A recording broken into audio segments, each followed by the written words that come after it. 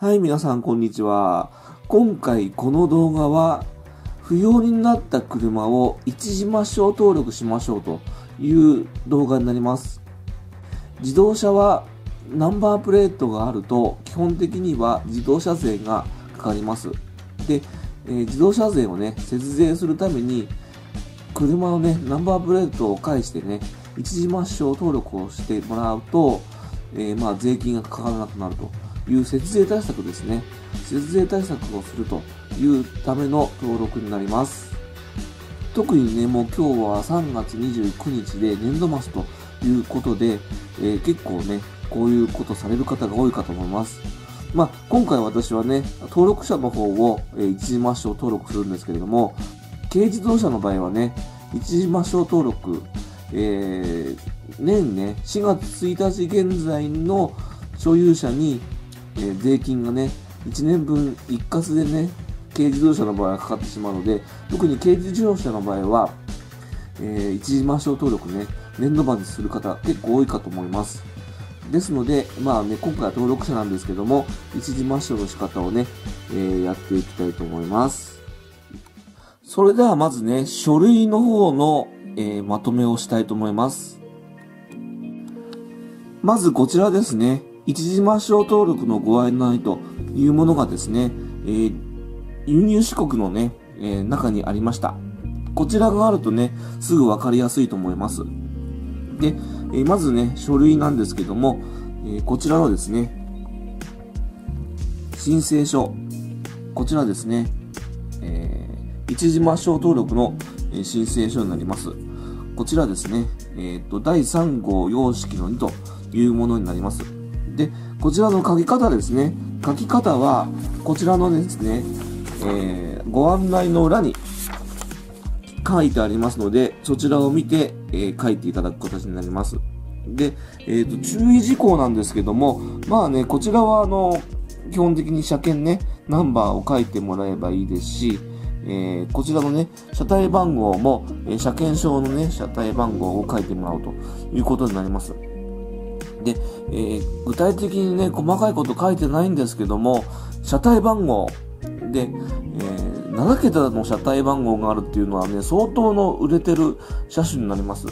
で、私今回出す、え、の車に関しては、車体番号ね、4桁なんですけども、こちらね、4桁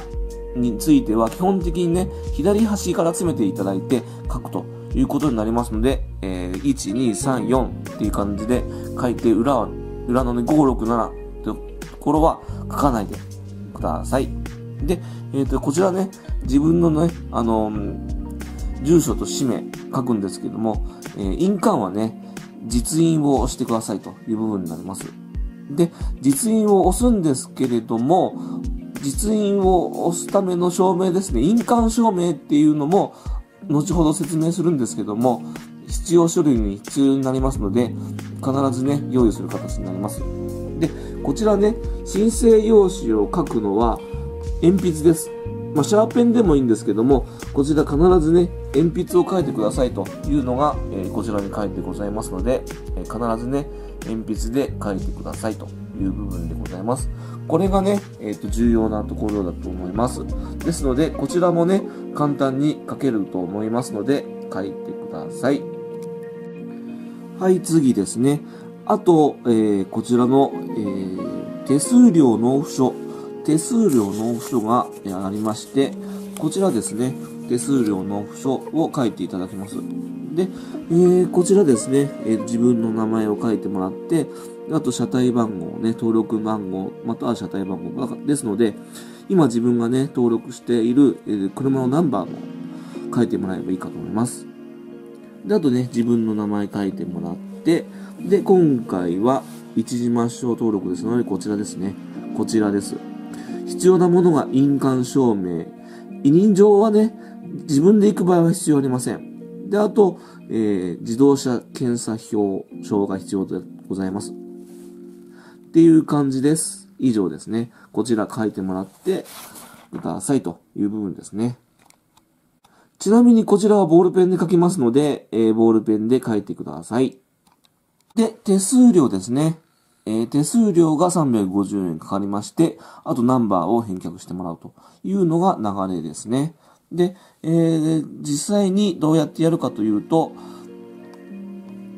これね、全部揃いましたら、えー、運輸支局の登録部門、窓口に出してもらってくださいというところですね。運輸支局に持っていくものは、えー、まずね、えー、一時抹消する自動車検査表の原本ですね、が必要です。で、あと、先ほど言ったように印鑑証明が必要になりますと。で、発行の、えー、3ヶ月以内のものが必要になりますというものですね。これコピーじゃなくて現物だと思います。で、あと、えー、本人が申請する場合は実印を持ってきてくださいという部分ですね。あの、だから、この印鑑証明に映し出された印鑑が必要だという部分でございます。あとね、受付時間です。受付時間は平日のみです。土日祝祭日、年末年始はやっておりませんという部分。午前中がこちらの時間。で、午後がこちらの時間というところでございます。まあね、あとね、行政書士さんに代書してもらうことができますと言っても、このね、一時回し登録ぐらいでしたら、もう自分でやっちゃいましょうよ。まあそんな感じでございます。ここでね、一つ盲点があります。えー、実際ね、ナンバーを外すということは、行動でこの車を運転することは一切できません。ですので、まず自宅でナンバーを外してください。ナンバープレートね、正面と後ろについている2つのナンバープレートを外してください。で、そのナンバーを一緒に陸運支局まで持っていかないと、その乗った、は、なんていうんですかね、一時抹消する車を乗っていって、陸運支局まで行ってしまうと、帰り困っちゃいますよね。帰り、もう劣化移動ってわけにもいかないですし、ですので、必ず、ナンバープレート等を外して、で、こちらのものを用意して、それから出かけるようにしてください。もちろんね、そのね、陸運支局まで行く行き方はね、ここ様々ですね。基本的に田舎暮らしなので、車はね、家に何台かあるかと思うんですけども、別のね、登録されている車で行って手続きをするという形になるかと思います。実際私もね、そういうやり方で、行ってきます。ちなみに印鑑証明はどこで発行すればいいの？ということなんですけども、市役所ですね。その住んでいるところで、え、発行してもらうことになります。印鑑証明もしたことないよという方についてはね、ぜひね、印鑑を持って、実印を持ってもらって、えー、市役所ね、あの司書とか行ってもらうと登録できますので、えー、そういう形でお願いしたいと思います。ですので、まずこれから私がすることは、こちらの申請用紙、あとですね、こちらの手数料納付書を書くことがまず1点。で、あと、えー、印鑑証明を取りに行ってくること。で、あとはですね、ナンバーを外すこと。まずその3点ですね、をしていきたいと思います。それではナンバープレートを外したいと思います。まずね、後ろの部分の、えー、ここですね。ここ。ここを外さないと外れませんので、外していきたいと思います。ここですね。ここ。ここを外さないと外れませんので外していきたいと思います。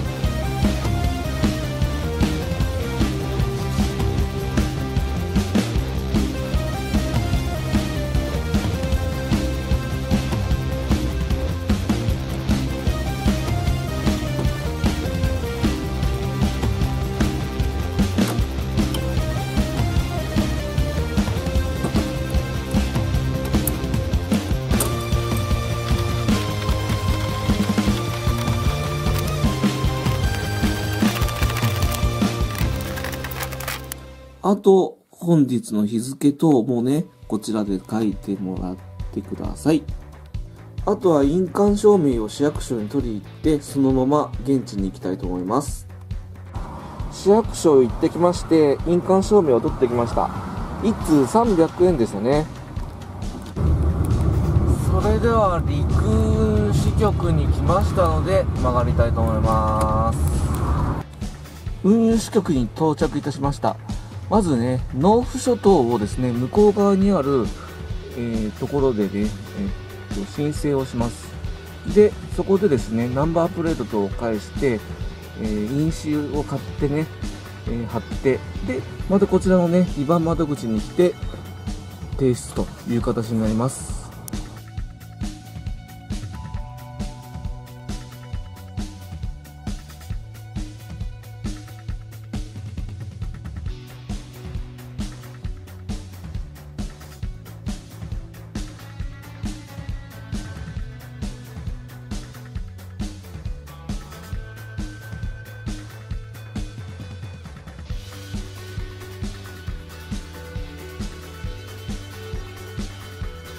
はい、移転抹消が終了いたしまして、こちらの登録識別情報等通知書というものをいただいてまいりました。これが今後ね、廃車する際とかに必要になってきますので、必ず、えー忘れないでっていうか、なくさないでくださいね。で、今回登録までね、えーまず、窓口に行った、ほんとギリギリ11時半ぐらいに行って、今11時45分なので15分ぐらいかかりました。ということですね。